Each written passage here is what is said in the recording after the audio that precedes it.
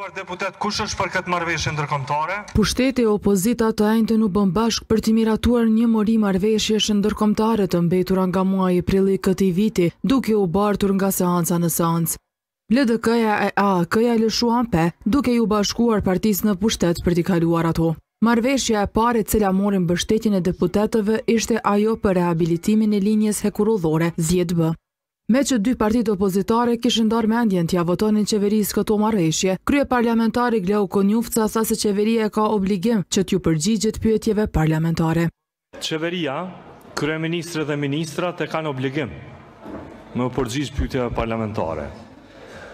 Edhe në çdo mospërgjigje, domethënë e kanë vërejtjen e qartë të parlamentit edhe të kryetarit të parlamentit që kjo nuk është mirë. Domethënë, tekefundit ekziston një përgjegjësi publike të personave që të jenë të përgjegjshëm para Kuvendit të Republikës së Kosovës e në këtë rast sidomos qeveria dhe ministrat. Shefi i grupit parlamentar të AAK-së, Besnik Tahiri, tha se vendimi për t'i votuar vjen pasi nuk duan të jenë bllokues për të mirën publike. Aleanca për Ardhmërinë e Kosovës do të votojë. Po ashtu, ju them se si grup parlamentar kemi diskutu edhe me deputetin Haki Abazi, edhe ai është zotu paraprakisht që do ta japë votën për të vetmen arsye me pa fuqinë opozitare që e ka.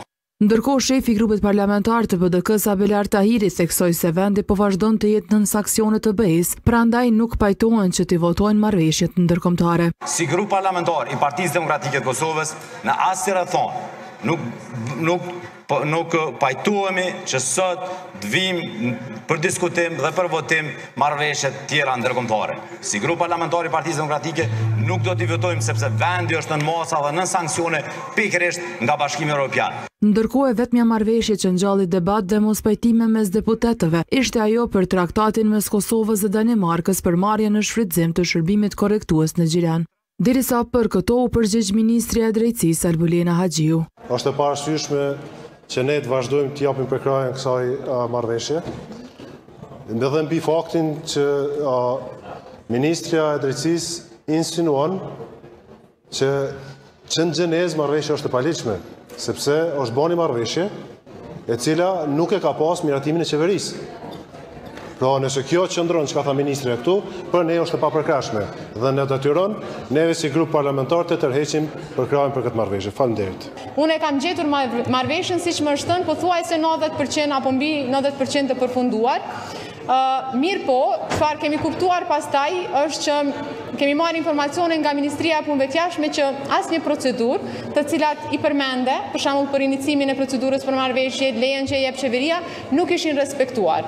Dhe unë kam thënë që nuk mund ta procedojmë tutje këtë marrëveshje pa e respektuar ligjin për marrëveshje ndërkombëtare. Duke parë mospajtimet rreth këtij traktati, kryetari i Kuvendit Glauk Konjufca nuk e ka hedhur në votim fare. Kuvendi i Kosovës në agjendë për diskutime ka pasur edhe shqyrtimin e të gjeturave të raportit,